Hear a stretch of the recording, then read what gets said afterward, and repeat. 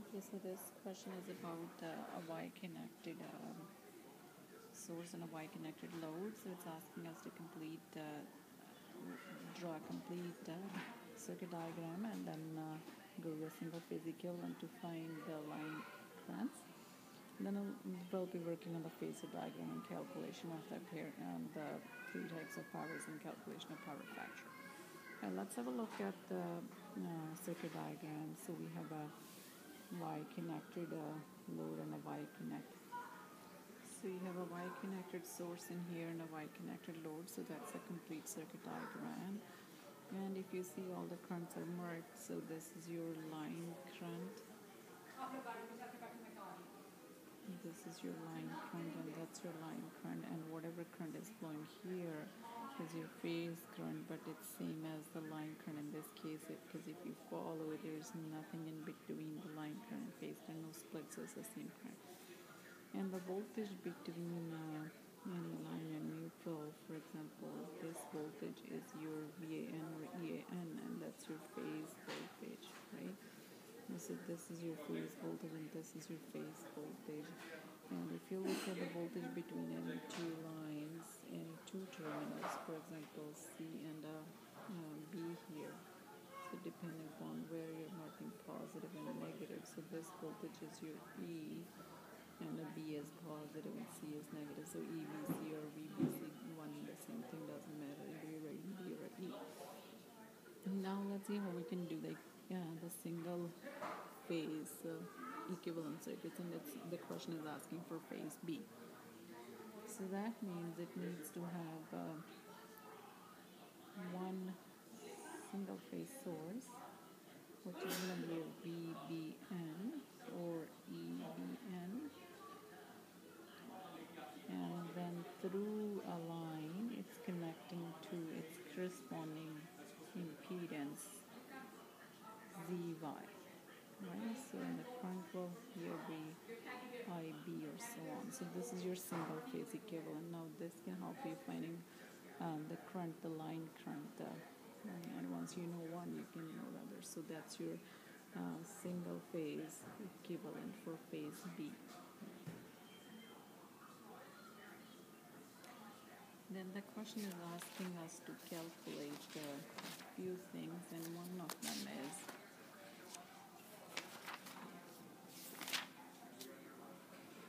calculate the three line currents and the three phase voltages. Now it's asking for the phase voltage, that means it's asking for VAN, VBN, VCN. It's the same as if you say EAN, EBN, ECN.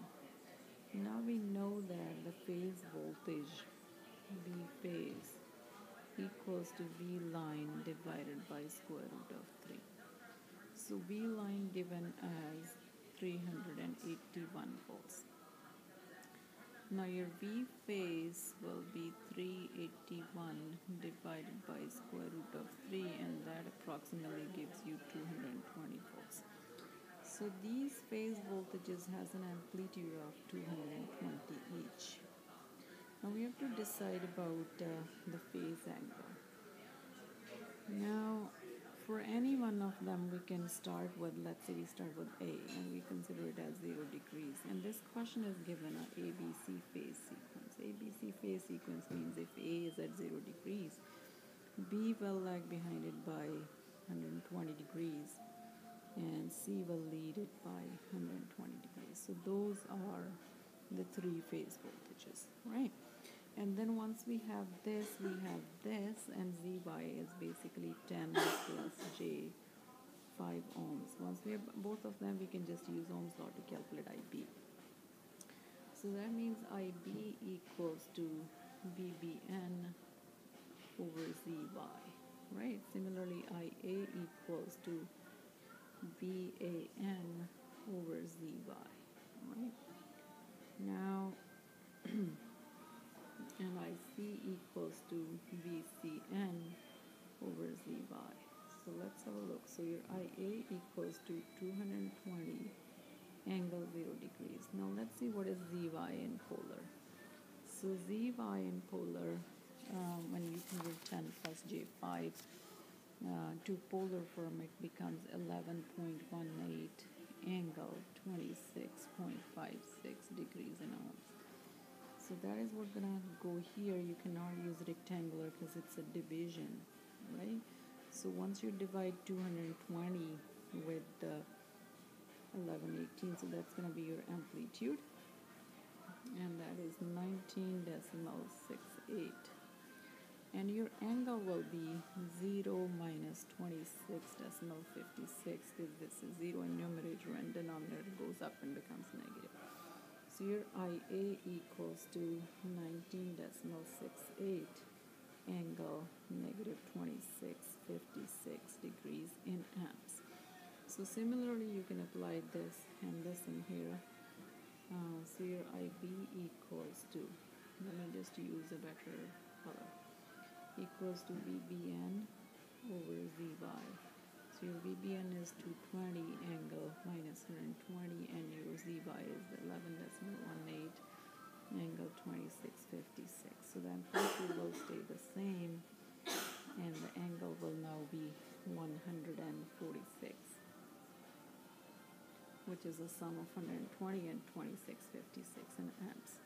Similarly, your IC will be 19 decimal 68, the same amplitude, and the angle will be 120 minus 2656, which is 19 decimal 68, and the angle, if you calculate, becomes 93 decimal 44 degrees in amps. So those are the three um, currents and voltages. Now we'll look at how to draw the phasor diagram. Now for drawing the phasor diagram, let's have a basic line uh, for x-axis in here. So that is like this. Now first set is, let's say your AN 120 angle 0 IA is 19 decimal 68 angle minus 2656 and your line voltage let's say your AB now its amplitude we know but we don't know the angle. So angle we know one equation what says VL equals to V phase square root of 3 angle 30 degrees. What does that mean? VL equals to square root of 3 times V phase and amplitude and it leads by 30 degrees. So VL leads the phase. Now for drawing the diagram, let's say this is our VAN at 0. So your VAB will be 30 degrees ahead of it. Right? And your IA is lagging. See, IA has an angle of negative. So IA is lagging by this angle is 26, 56. This angle is 30. The rest of the three will be like this. so your VBN will be somewhere here VBN so this is 120 right and your VBC will be leading this by 30 so leading comes here that will be your VBC and your IB will be lagging behind by the same 26, 56, so that's your IB. And the last group is for VCN. So your VCN is this is your 120 degree. Now for VCN, who leads VC VCA leads it by 30 degrees so approximately here your VCA and IC lags behind it. So IC will be almost uh, here. So this is 26 decimal 56 IC and this is 30 degree. That's your VCA. So that's your complete phasor diagram. Now let's have a look for the power calculation. Uh, so S equals to BI the vector for angle theta, right? So that equals to square root of 3 times VL IL angle theta. So your line voltage is given as 381. Your line current is same as your phase current, so 19.68 and an angle theta. Now angle theta basically is the same angle what we have calculated for the current. So theta has many ways to calculate. Now it's the same angle what current has, 26 decimal 56 degrees. Otherwise you can also get it like tangent inverse of x over r. So mm, those are the two parts of impedance. X is um, your 5 and r is your 10 so that also is going to give you this that just be calculated from uh, the impedance triangle so this is your R that's your X and this is your Z right so this is angle theta so if you see tangent of theta that equals to X over R so theta is tangent inverse x over r. That's how we calculate theta. So finally your S is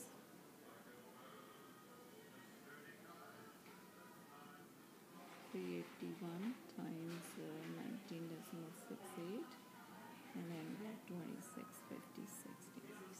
Okay? So that gives you twelve nine eight seven. 656 in the units here we have VA that's your S. Now your P equals to your S and a cosine of theta. So this theta here is 2656 so S you calculated 12 987 2656 so that is your real power. And your reactive power is basically S sine of theta which is 12987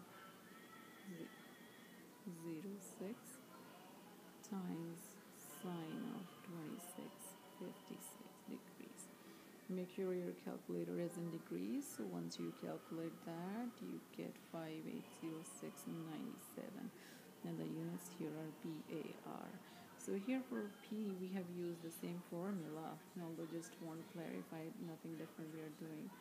So P actually also equals to square root of 3VL IL cosine of theta. Here it's the same uh, amplitude of S, right? Yeah. Okay, so then is the power factor. So power factor is basically cosine of theta. So cosine of 2656 degrees and you get 0 uh, uh, 0.894 I believe